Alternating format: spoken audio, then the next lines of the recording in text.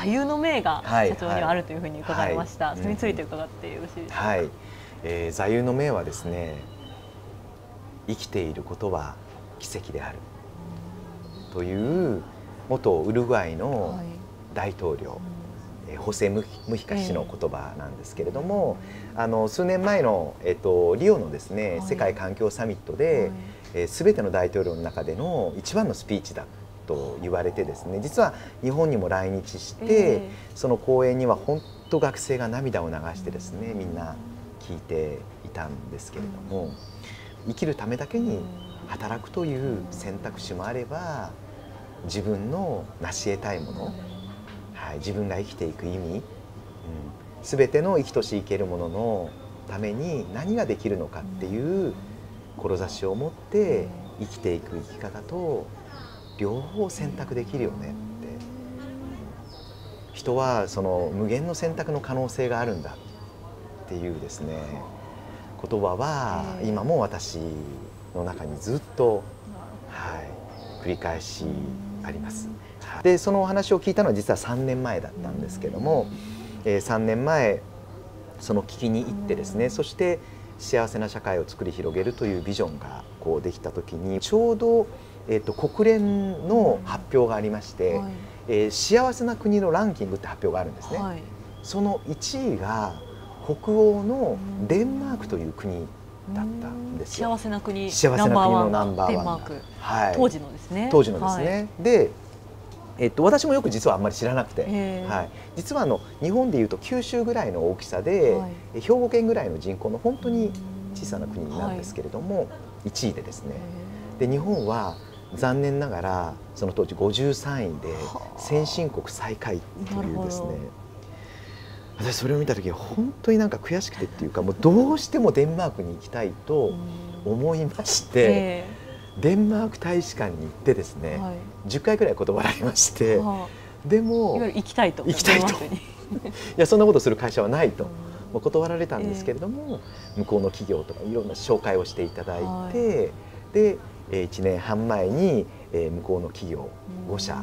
えー、とあの、えー、レゴというですね、はい、あのこう世界でえー、学びと遊びを作っている有名な会社にも行かしてきましたし、はい、ボダムというですね生活雑貨で、えー、世界を影響を与えているこう会社とかですねにこう行かしてもらって、はい、そうしましたら分かりました。なんで幸せな国で日本は51位なのかっていうですね、はい、それはですね一言で言えば生き生きしてるんですよ。一人一人。はい。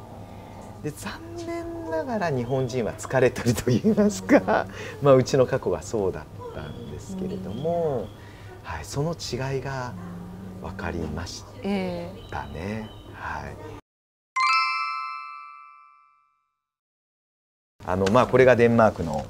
写真なんですけれども、はい、当時行った時のですね、はい、これってどこだろうって思った時にえーと、実はもうこれ空港なんですよ。ちょっと美術館っぽいですよね。ね。もう来るところからウェルカムみたいな感じでですねなんかワクワクするというですね、はい、非常にデザインとかを大事にしている会社あの、えー、と国でですね。そしてこうちょっとレトロな感じでちょっとどこかに似てるなというふうになるとちょっと東京駅に似てますけれどもこれ首都のコペンハーゲン駅でですね、はい、実は古いものを大事にして、えー、古き良きものを大事にする伝統を大事にする国ですよね。はい、そしてまたですねその時あのたまたま女王様に出会いましてですね 女王様国会の初日には必ずいらっしゃるということでですねとても王室が大人気でこれも日本とすごく似ててですねそしてこの健康の部分ではですねこれはあの教育施設に行ったんですけれども本当に先生がですね生き生きとされてて一人一人の生徒のためにプログラムを作るという子どもたちにリラックスしあのをしてもらおうと思ったらまず自分たちがリラックスしていないとというふうにして使っていたのがえーと、上下に昇降するデスクがはい、これが国の指定で全部の会社がこうなんですね。国が国が。はい、だからみんなが健康で逆に医療費は少ないというようなですね形でもう自分たちの言ったことが国が反映されるっていうことで投票率が85%なんですよ最低。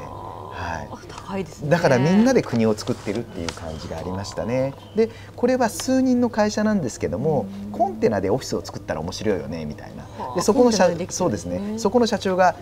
イエーイみたいな感じですね。もう会社大きい小さい関係なくてですね。えーと、本当に生き生きとしている働いてる人が誇りを持ってしっかりと立ってるっていうことが、えー、教育の仕組みとその本当に国の仕組みがあるんだなっていうのをこう感じましたね。でこういうあのですね100年以上の、えーとえー、住宅をですねリフォームして作っているっていうそういうあの、えー、キッチン雑貨メーカーもあってですね本当にここはですねえー、と本当楽しくですねあのちょっとしたおやつとか食べれるようになって、でオフィスオフィス？です。でオフィスもですね、えー、とすごくメリハリが効いてて居心地が良くなることについては、あのお金をかけていこう。だからですねこの机がですね1個10万円以上したりとかこれもですね十数万円したりとか環境づくりに居心地には投資をしてでも毎日使う紙とか、はい、そういう消耗品はコストダウンしようという。だから文化なんでしょうか。文化なんですね。なんかあの初任給で椅子を買うという文化らしいですね、はい、自分たちがリラックスできる居心地がいいようにしようという。だから仕事自体を楽しんで、はい。ままるで自分の家のようにみたいなような感じたちですね。で実は一番私違うなと思いましたのは実は日本人スタッフがこの会社にいましてですね。はい、で数年前は日本の日本法人で働いてたそうなんですよ。でその方がですねあの女性の方が社長に、私仕事飽きました。って言ったらしいんです、ね、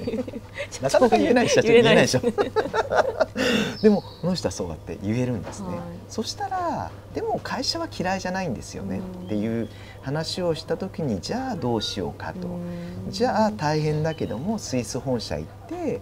しばらく勉強して働くかっていうことで、えー、ことになってスイスの本社に行ってデンマークっていうことで彼女は生き生きと。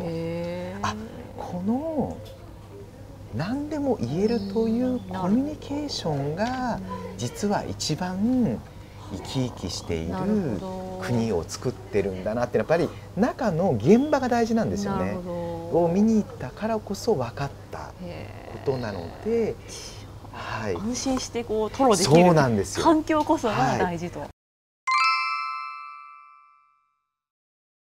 安心して話せるそのコミュニケーションと安心していられる場所を作っていくことがそこで初めて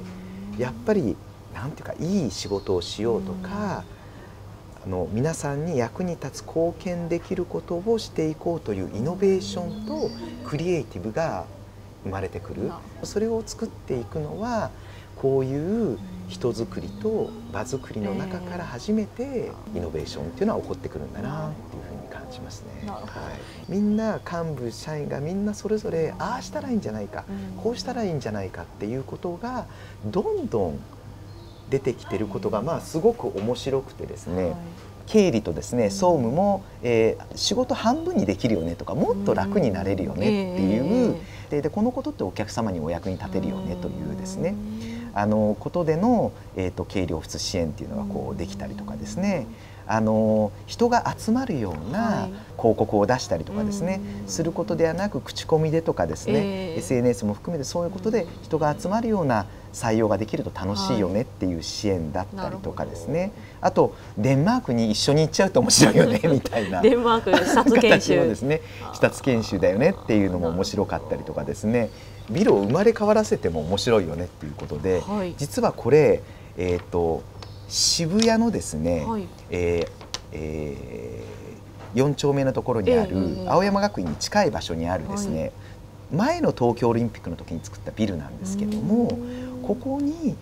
えー、人が交差するというたくさんの渋谷の中のスタートアップ企業とかがここに集まって集ってカフェのえー、会社にも支援をしてもらって、はい、で、えーと、ランチにはですねここに、えーと、車が来てですね、はい、あの美味しい健康的なランチが毎日食べれたりとかですねそういう人が交差する場所を作っていこうという、えー、また事業がですねはい、わずか数か月の間にこう立ち上がったりしてこの何かやりたい役に立ちたい。そしてお客様に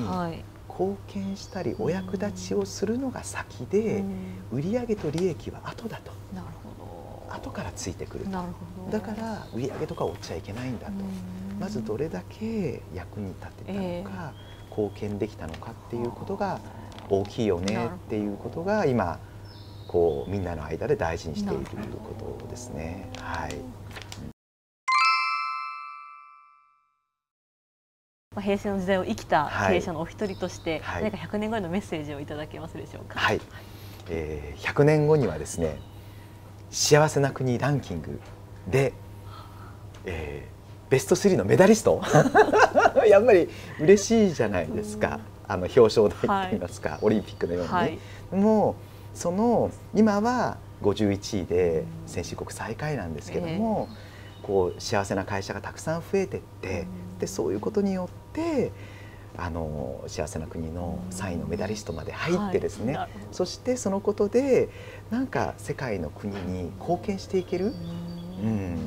あの日本のいいところっていっぱいあると思うんですよね。はい、何か世界の国にもこうこう影響を与えられる貢献をしていって、みんなでそんな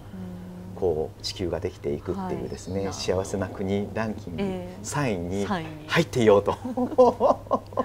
なるほどみんなそんな次世代のね幸せを作っていこうというのが100年後へのメッセージになります。文エドさんとしてはどんな会社でありたいなっていうようなものありますか？そうですね。仲間、うん、仲間作り、はい。だからなんかその100年後へ向かって、うん、だどの会社が引っ張るじゃなくてですね。仲間がたくさん増えてって、そんな幸せな会社を作ろうっていうものが1万社に増えたら、うん、その一員みんなでそうやって作っていってそれも日本の会社だけじゃなくてこの北欧のデンマークであったりカナダであったりいろんなアジアの会社であったりそういうたくさんのこうあの会社がですねこうあの本当にその仲間としてこうずっと英雄の旅をしていくみたいなですね。そんなこうあの仲間づくりができていくそんな会社になれたら素敵だなというふうに思ってます。はい。山崎社長、今日は貴重なお話伺いまして、はい、ありがとうございました、はい、ありがとうございます。